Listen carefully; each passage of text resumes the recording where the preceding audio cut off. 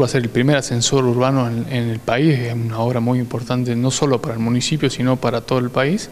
Está ubicado en la intersección de la calle Iguazú y Santiago del Estero. ¿Y hacia dónde va a llevar? Bueno, este ascensor nos va a permitir vincular eh, el barrio Mariano Moreno con Bajo Gorriti, el centro, Parque Civicivi, todas estas posibilidades va a tener. Eh, ¿Cuántas personas pueden entrar al ascensor? ¿Va a tener algún costo para pagar?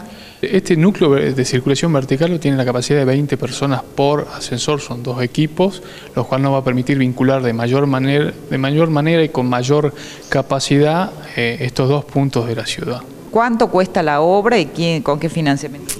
Bueno, esta obra tiene un total de financiamiento que son 36 millones de pesos, los cuales eh, Nación aporta 20 millones y la municipalidad va a aportar eh, la diferencia.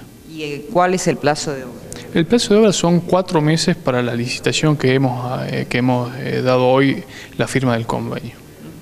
Esto también va a permitir que la gente que viene de visita a la ciudad pueda verlo desde otra perspectiva. Sí, no solo tiene una función eh, de vinculación formal diaria de todos los vecinos, sino también va a posibilitar que el turista tenga otra apreciación de lo que es la ciudad.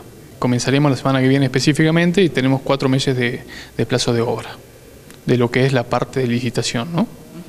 Después tenemos lo que es la incorporación de los equipos que va a demandar un, un tiempo más, lo cual pensamos que a principios del año que viene va a estar en pleno funcionamiento el ascensor.